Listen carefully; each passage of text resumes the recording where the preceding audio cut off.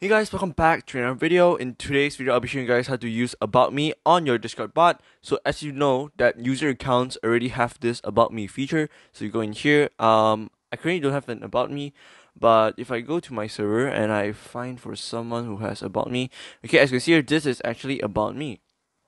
So, uh, as you can see here, uh, in TypeScript, I have About Me as well on my Discord bot. So in this video, I'll be showing you guys how to make uh, About Me for your Discord bot. Actually, it's really simple to implement this About Me feature in your Discord bot. All you need to do is go to your browser.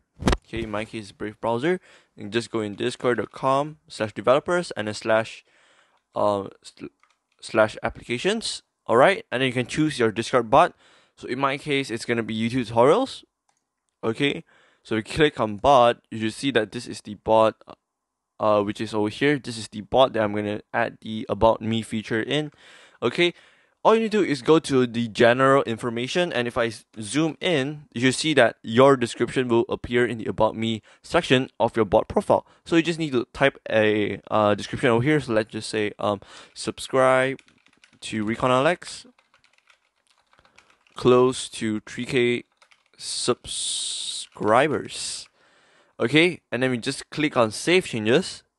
Okay, and then we just have to give it a little time to load uh, to refresh the API and then uh, it should appear over here. You can also refresh your Discord to get the latest uh, changes. So just refresh your Discord using Control R or Command R if you're on Mac. And then when you click on your bot, as you can see here, there is a About Me feature.